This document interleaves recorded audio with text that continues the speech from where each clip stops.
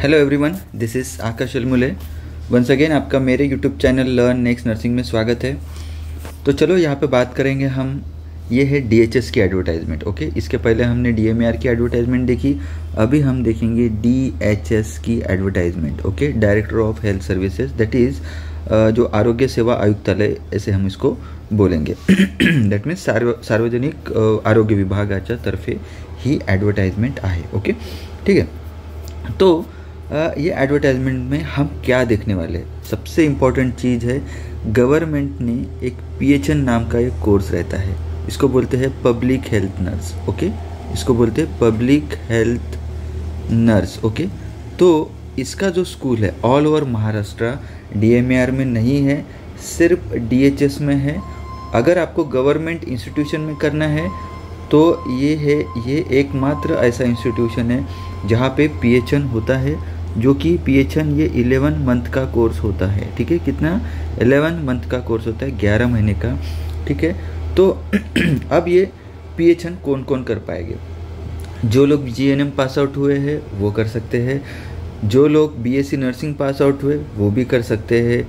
ठीक है MSc nursing pass out है वो भी कर सकते हैं। अब बोलेंगे सर बीएससी तो ग्रेजुएट है ग्रेजुएट होने के बाद डिप्लोमा क्यों करें? तो बेटा जो गवर्नमेंट में है बेसिकली अगर आपका जीएनएम हुआ है तो you can do PHN is very good लेकिन गवर्नमेंट में कुछ आ, ऐसी पोस्ट रहती है ठीक है कि बेसिकली आपके पास अगर वो पर्टिकुलर ये डिप्लोमा है तो ही आप वो वैकेंसी के लिए अप्लाई कर पाओगे। ठीक है?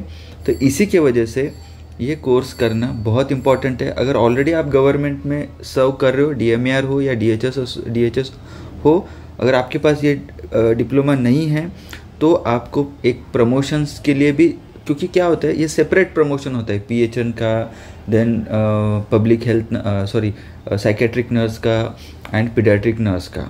ठीक है? तो इसके लिए ये स्पेशलाइजेशन होना ज़रूरी है। अब बोलते हैं कि लोग, सर, मेरा तो एम एस नर्सिंग पीडियाट्रिक में हुआ है तो मुझे नहीं मिलता है क्या? तो देखिए, महाराष्ट्र में दो हेल्थ केयर डिपार्टमेंट है, एक D H S D M E R okay D H S ने उनके जो आर आर है रिक्रूटमेंट रेगुलेशन वो बार बार चेंज करते हैं। उनको वो अपडेटेड है। But D M E R ने अभी तक उनके आर आर चेंज नहीं किए।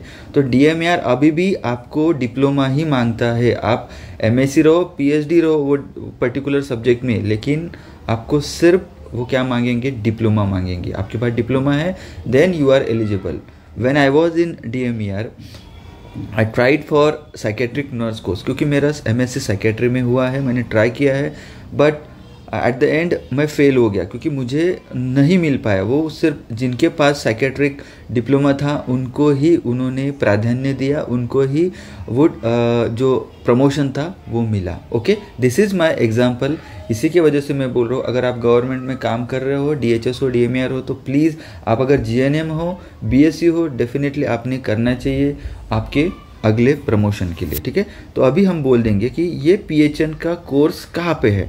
सबसे इम्पोर्टेंट है ये कोर्स कहाँ पे है? तो ये कोर्स है नागपुर में। ठीक है? ये कोर्स है नागपुर में। अब देखते कहाँ पे है नागपुर में।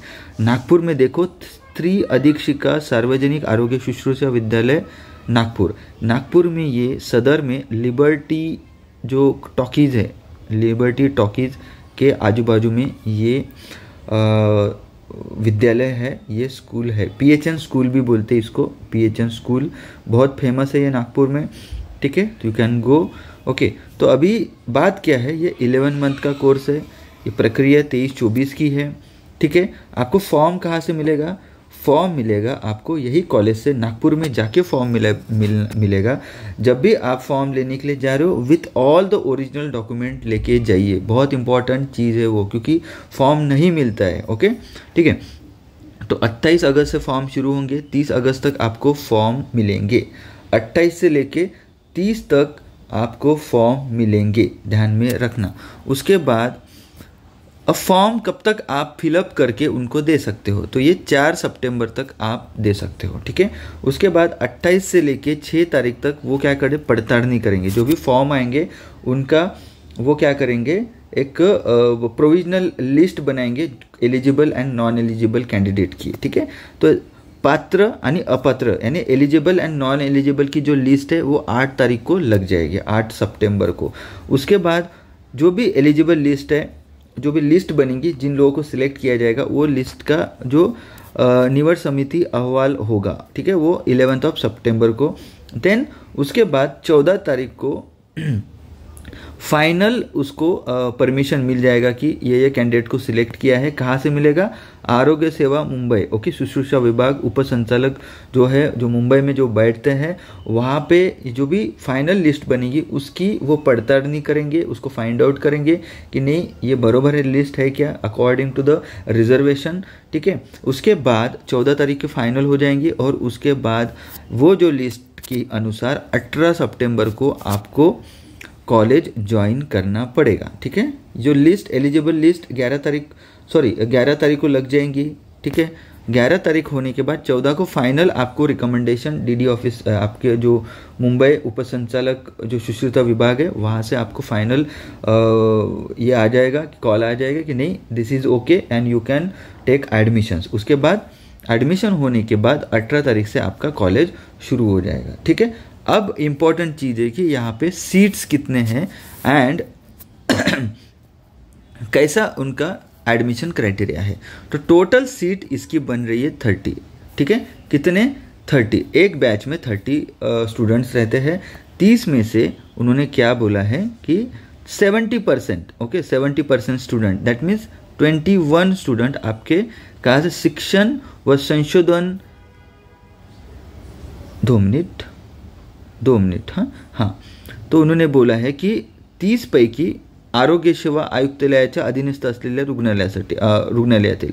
That means D H S के जो स्टूडेंट हैं, उनके लिए 21 स्टूडेंट ओके और छः स्टूडेंट आपके आएँगे डीएमईआर की जो एजुकेशन संस्था है, जो काम कर रहे हैं। डीएचएस में जो काम कर रहे हैं, उनके लिए 11 21 पोस्ट है।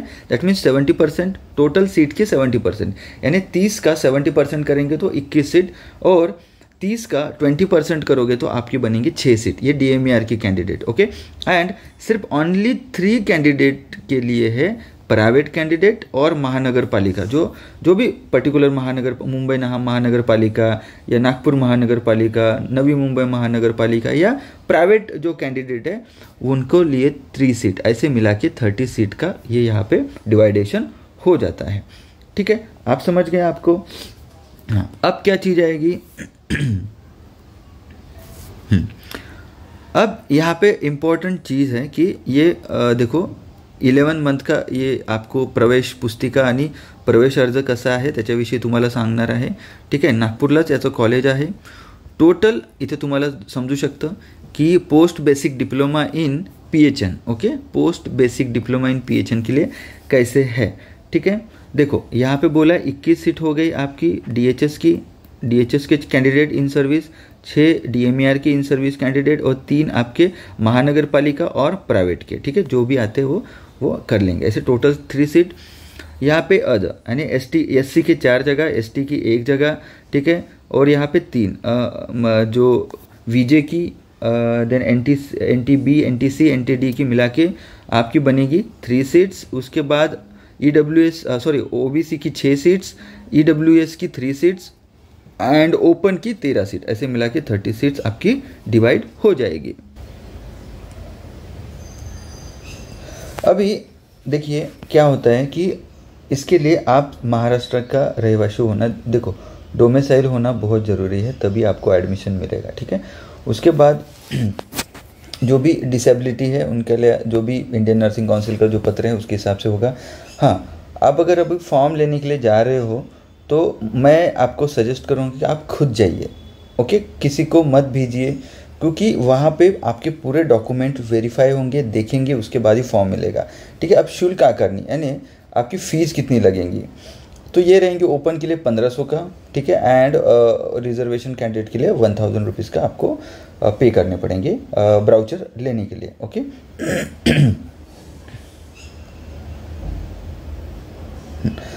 ओके उसके बाद ये हो गया। अभी हम बात करेंगे कोर्स की फ़ीस क्या रहने वाली है। कोर्स की फ़ीस आपकी दस हज़ार पाँच सौ पचास रहने वाली है, ओके? जो इलेवन मंथ का जो कोर्स है, उसकी फ़ीस रहने वाली है दस हज़ार पाँच सौ पचास रुपये ठीक है? इतना ही रहेगा। ठीक है? आपको डॉक्यूमेंट क्या क्या लगेंगे? ठीक है? तो डॉक्यूमेंट, देखो, सबसे पहले तो आपको शाळा सोडल्याचा प्रमाणपत्र। ठीक है? वो लगने वाला है। That means living certificate okay कोई भी लिविंग सर्टिफिकेट है आपके पास, आपका ग्रेजुएशन का रहे, आपका जी एन एम का रहे सी का रहे टेंथ का रहे, वो दिखाना है।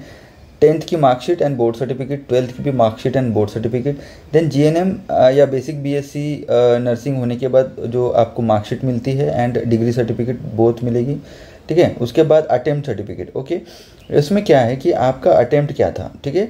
आपको स्कूल का टेंथ का ट्वेल्थ का एंड नर्सिंग का अटेम्प्ट सर्टिफिकेट आपको देना पड़ेगा।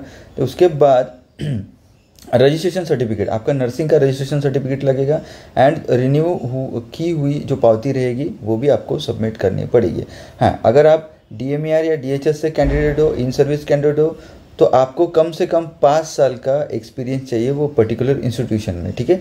देखो, यहाँ पे क्या लिखा है? शासकीय सेवेत प्रवेशित परिचारिकांना प्रवेशाच्या दिनांकास कमीत कमी पाच वर्षाचा अधिपरिचारिका या पदावरील काम केल्याचा अनुभव असल्याचे प्रमाणपत्र. Okay that means you have to take experience certificate from your matron office और फ्रॉम योर डीन ओके कम से कम आपको फाइव ईयर्स का एक्सपीरियंस होना है, तभी आपको मेरिट लिस्ट में प्राधान्य मिलेगा, ठीक है? ध्यान में रखना। अगर आपको तीन या चार साल का हुआ है, अगर कोई आपसे पाँच साल का एक्सपीरियंस है तो उसको ज़्यादा प्राधान्य मिलेगा, ठीक है? उसके बाद प्रोबेशन कंप्लीशन सर्टिफिकेट आपको चाहिए। क्योंकि देखो सेवा नियमितीकरण म्हणजे काय होतं पहिले दोन वर्ष तुमचं प्रोबेशन असतं ठीक आहे? त्याच प्रोबेशन कंप्लीट झाल्यानंतर तुम्हाला प्रोबेशनमध्ये तुम्हाला जसं M S C I T certificate या बाकी जे सर्टिफिकेट आहे जसं जे दहावीचे आणि बारावीचे मराठी विषय वगैरे नसते ते सगळ्या एक्झाम वगैरे सगळं क्लिअर झाल्यानंतर आणि दोन वर्ष तुमची से सुट्ट्या वगळून दोन वर्ष जर नियमित कालावधी तुमचा जर कंप्लीट झाला तर तुम्हाला एक प्रोबेशन कंप्लिशन सर्टिफिकेट भेटतं.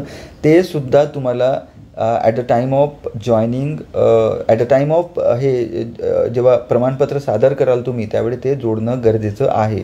ठीक आहे? नाहीतर असं समजण्यात येईल की तुमची सेवा नियमित नाही. ओके त्याच्यानंतर अगर तुम्ही मागास वर्गात असाल तर तुम्हाला caste certificate and caste validity तुम्हाला द्यावं लागेल. Then domicile certificate nationality certificate non creamy layer द्यावं लागेल. जर तुम्ही ओबीसी आणि N T C N T B याच्याशी जर येत असाल तर एस सी एस टीलाची गरज नाही याची. ठीक आहे? त्याच्यानंतर आहे ई डब्ल्यू एस असेल तर ई डब्ल्यू सर्टिफिकेट तुम्हाला द्यावं लागेल. आणि त्याच्यानंतर तुम्हाला द्यावं लागेल एक मेडिकल सर्टिफिकेट मेडिकल सर्टिफिकेटचा परफॉर्मा तुम्हाला भेटून जाईल. ठीक आहे? कुठल्याही एम बी बी एस डॉक्टरकडून तुम्ही बनवू शकता. एक विहित नमुना आहे. मी याच्या डिस्क्रिप्शन बॉक्समध्ये देऊन देणार. ठीक आहे? डाउनलोड करून घ्या. ओके आणि आधार कार्डसुद्धा तुमचं लागेल. आणि सगळ्या जेवढे डॉक्युमेंट असतील एक बारा तेरा जे डॉक्युमेंट आहे त्या सगळ्या डॉक्युमेंट तुमच्या म्हणजे काय झालेलं पाहिजे? अटेस्टेड असणं गरजेचं आहे. At a time of verification तुम्हाला एक ते दोन सेट तिथे सबमिट करावं लागेल. तुमची मॅक्सिमम एज लिमिट काय? तुमची पन्नास वर्षापर्यंत. म्हणजे पन्नास वर्षापर्यंत. जसं आय एन सीच्या नवीन सर्क्युलरनुसार त्यांनी अप्पर एज लिमिट त्यांनी बंद केलेली आहे. बट स्टील यावर्षी त्यांनी ते लागू केलेलं नाही आहे बट त्यां त्यामुळं त्यांनी म्हटलेलं आहे की तुमचं एज पन्नास वर्षापेक्षा पेक्षा जास्त नसो. ओके आता निवड प्रक्रिया कशावर असणार? निवड प्रक्रिया हे तुमची सर्वसा तुमच्या गुणवत्तेनुसार तुमच्या मार्क्सनुसार. Okay G N M basic B S C नर्सिंगच्या सर्वात अंतिम परीक्षेच्या गुणाची बेरीज करून सर्वसाधारण गुणवत्ता यादी करणार. म्हणजे असं समजून घ्यायचं की aggregate marks aggregate of G N M and B S C nursing हे सगळं कंबाईन करून तुमचं मेरिट लिस्ट बनेल ओके आणि जर समजा तुमचं ना म्हणजे एकदमच मार्क्स सेम झाले तर पहिलं तुमचे काय बघितलं जाईल? बारावीचे मार्क्स बघितले जाईल. नंतर दुसरं तिथे पण सेम झाले तर दहावीचे. आणि तिथे पण सेम झालं तर जे वयाने जास्त आहे त्या कॅन्डिडेटला प्राधान्य देण्यात येईल. होप सो तुम्हाला पी एच एनच्या ॲडमिशनबद्दल सगळ्या गोष्टी क्लिअर झाल्या असतीलच ओके ओके हे परीक्षेचं स्वरूप वगैरे ते नंतर आहे.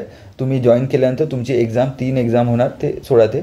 फक्त आता यावेळी फक्त ॲडमिशन घेणं गरजेचं आहे. त्याच्यामुळं मी हे व्हिडिओ घेऊन आलेलो आहो.